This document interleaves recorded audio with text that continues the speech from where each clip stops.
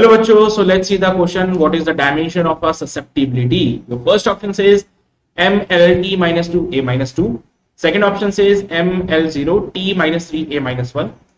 Your third option says no dimension. And the fourth option says T minus 3, A 2. So here in this question, for the susceptibility, it is a unitless and dimensionless quantity. So susceptibility is a unitless and dimensionless quantity. So your option C definitely suits this.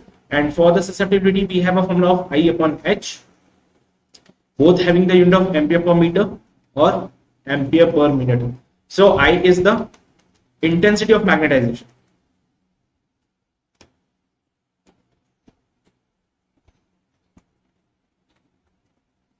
उसका जो unit होता है वो ampere per metre होता है और H जो है वो मैग्नेटाइजिंग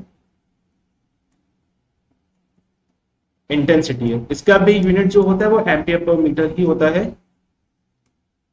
और दोनों के यूनिट सेम होने की वजह से ये जो बनता है, ये बनता है यूनिटलेस एंड डायमेंशनलेस ओके तो यहाँ पे ससेप्टिबिलिटी जो होगा इट्स यूनिटलेस एंड डायमेंशनलेस तो आपको सी ऑप्शन बिल्कुल सही होगा and I hope you got the concept of this question all the very best